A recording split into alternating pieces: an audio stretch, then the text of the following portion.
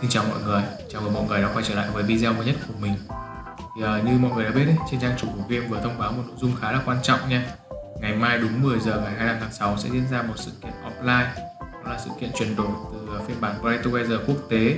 sang Play Together phiên bản VNG nha mọi người Cùng với đó là đại diện của công ty phát hành game này, của VNG này và các cái gương mặt đại diện cho game ấy như chị uh, Mithy này, anh Mr. Vịt này, chị VV này và anh Thạc Đức như mọi người. Ngoài ra thì có các youtuber những người ờ, sản xuất nội dung này xoay quanh game play together trên youtube nữa cũng sẽ tiến hành tham gia để trải nghiệm về chuyển đổi này nha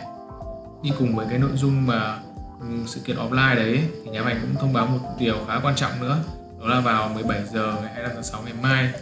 thì uh, phiên bản play together phiên bản quốc tế sẽ bị đóng cửa vĩnh viễn trên hai ứng dụng là Google Play và App Store nha để uh, chuẩn bị cho các bước cuối cùng để chuyển đổi game về Việt Nam ấy thì điều đó đồng nghĩa với việc là bạn nào chưa tải phiên bản quốc tế trước thời gian trên thì nhanh chóng tải về và để để lưu tài khoản nha cũng như là các bước để chuyển đổi về game ấy.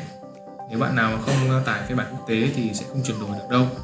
Mọi người nhanh chóng tải phiên bản này về để lưu lại nha. Ngoài ra thì uh,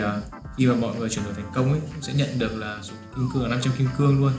Nhưng mà hiện tại nhà phát hành game đang để ngỏ là thể sẽ nâng cái giá trị kim cương này lên nữa mọi người ạ. Nên chúng ta cùng nhau hóng chờ những cái thông báo nhất của nhà hành thôi nha giờ ngày hôm nay mình làm video chủ yếu là xoay quanh các thông báo về uh, chuyển đổi.